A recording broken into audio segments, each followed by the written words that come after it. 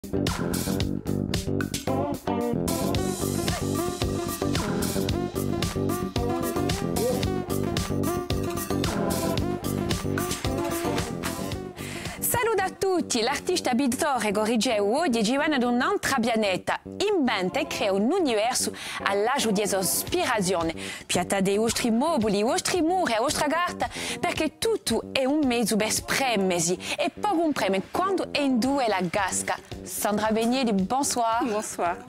Alors, c'est bien vrai ça, vous peignez n'importe où, sur n'importe quel support, c'est Oui, bien ça? C'est vrai, c'est vrai. ça peut être euh, sur, euh, sur n'importe quoi, sur une pierre, sur, euh, sur, sur un objet en plastique qui fait office de, de bracelet, sur, sur du papier, sur, euh, sur tout ce qui me tombe sous la main. Dès que j'ai un petit stylo, ben, c'est un réflexe, je crée. Vous créez. Alors justement, euh, vous êtes une artiste aujourd'hui confirmée, mais au départ autodidacte. Oui.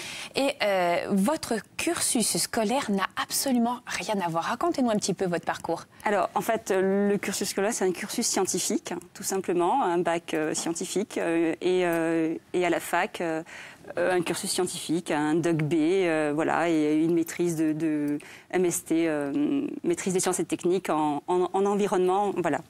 Mais euh, il y a quand même cette passion qui vous accompagne et qui ne vous quittera jamais, même mal- enfin, malgré, pendant cette période d'adolescence euh, et d'étudiante que vous êtes, il y a toujours un gribouillis, comme vous l'appelez, oui, euh, un au départ. gribouillage, un gribouillis, un griffonnage, oui, effectivement. C'est toujours à portée de main. Toujours, Ah. toujours, toujours. Au Et- plus loin que je m'en souvienne, euh, j'ai toujours gribouillé ou griffonné, voilà. Et, sur, et, et toujours pareil, sur, euh, sur quelques supports que ce soit. Ça, C'est le papier, ça peut être, euh, voilà, c'était euh, Au gré, de, au du gré, moment tout à et de fait, au gré de ce que j'avais sous la main, voilà. On va aller découvrir votre premier objet, euh, le, le jingle Credo, Oui. qui est, pardon, excusez-moi, juste en dessous. Voilà.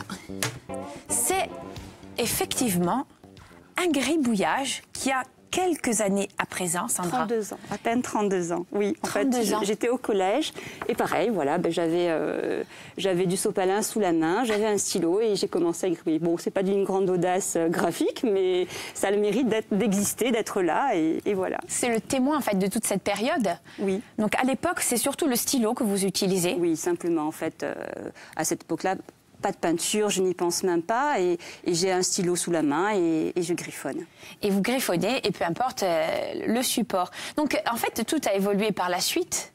Euh, vous nous racontez un petit peu justement euh, co- comment comment euh, vous êtes passé du stylo à, à- à la peinture? Est-ce que c'est venu de suite? Non, que pas venu du tout. facilement? Non, non, non, c'est pas venu de suite.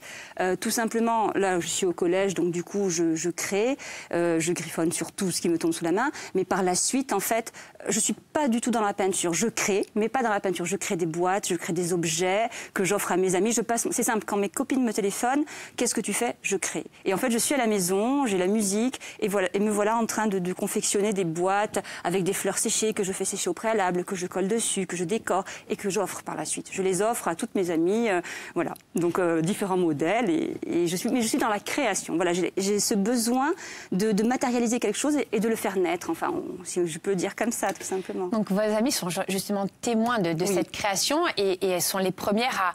C'est votre premier public. Oui. En fait, c'est votre première Oui. jauge.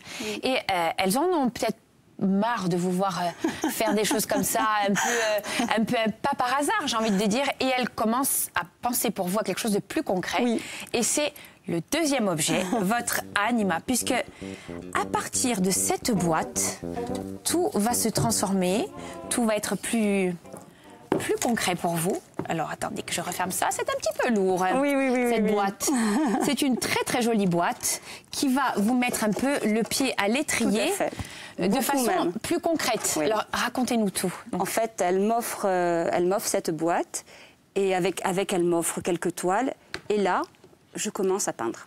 Voilà, je commence euh, je- tout mon temps libre. À cette époque-là, je crois que je suis, euh, je suis en fac et, euh, et tout mon temps libre, je le passe à peindre. Voilà. donc là, là, ça y est, vous utilisez la, la peinture et vous à arrivez à avoir un autre support encore, c'est la toile. Oui, la toile. Mais même la peinture, je pense que euh, par moi-même, j'y serais pas allée parce que euh, j'y étais pas dedans. C'est elles qui ont pensé ça pour moi, elles me l'ont acheté, me l'ont donné. Donc je l'avais en main, il fallait que je l'utilise. Donc du coup, je commence. Alors elle m'offre la toile avec, donc c'est de la toile, je peins sur de la toile. Mais après, euh, je bifurque aussi sur le papier parce que quand je vais dans le magasin où elles me l'ont acheté, il y a tellement de choses que j'ai fouillé votre garage. ça, c'est un témoin, un premier témoin voilà, de cette époque-là. Voilà ce que je faisais à cette époque-là.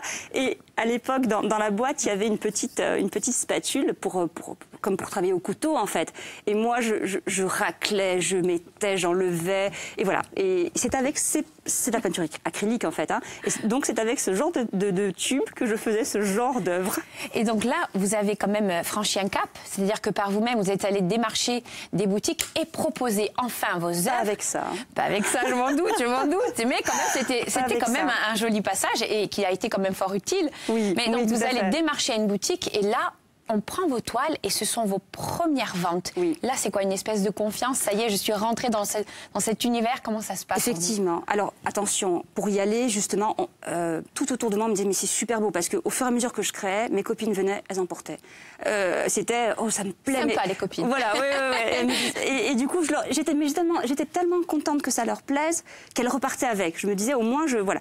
Et, et, du coup, forte de ça, je me suis dit, et même elles, elles m'ont dit, mais, mais va voir, va, va voir si on peut, parce que euh, moi, demain, si c'est dans un magasin, je te l'achète. Voilà, bon, enfin, elle le prenait, mais bon. Et euh, donc, va voir. Et du coup, parce qu'elle me le disait, j'y suis allée. Sinon, je ne sais pas si, si j'y serais allée toute de seule par comme ça. Ouais, voilà. En fait, tout a évolué après. Il y a aussi la période où vous avez eu votre enfant. Et là encore, votre peinture a évolué. On est Ah ouais. passé euh, de, de, ces cubes à des formes beaucoup plus rondes, à, Tout à différentes fait. couleurs. Tout à fait. Donc, en fait, tout ça a évolué en vous. Alors, ça évolue en moi et entre-temps, bien sûr, parce que dès lors que j'ai mis la main, enfin, euh, que je, je, suis rentrée dans la peinture, après, je passais mon temps dans le magasin de peinture où où j'allais j'allais en acheter en permanence et, euh, et un jour mon, mon mari euh, entre temps, donc je l'ai rencontré euh, et j'ai cet, en, j'ai, cet, enfant. j'ai cet enfant. Je pouvais plus peindre comme je voulais, je pouvais plus sortir des tubes, je, travailler toute la journée. Donc euh, du coup, et un jour il m'achète et ça, les encres qui sont les encres, voilà. Et ça, ça a changé aussi. Voir, ça vous allez voilà, voir sur le sur tout le à fait. Euh, il m'achète ces encres là et en fait c'était pour la, de la calligraphie tout simplement, mais je les ai détournées et avec la pipette parce qu'à l'intérieur il y a une petite pipette comme du mercurochrome. Voilà, vous travaillez et voilà. Et du coup, je fais la trame. Euh, je, je, sors simplement des feuilles, encore des feuilles, voilà. Et mais par la suite, j'achète du beau papier parce que j'aime le papier. Il y a, il y des, des, de magnifiques papiers, j'en achète. Justement, oui. Sandra, je vais vous couper et je vais vous proposer à vous ainsi qu'à nos téléspectateurs oui. d'aller faire un tour dans votre atelier et de voir comment tout ce processus créatif prend forme. D'accord, merci.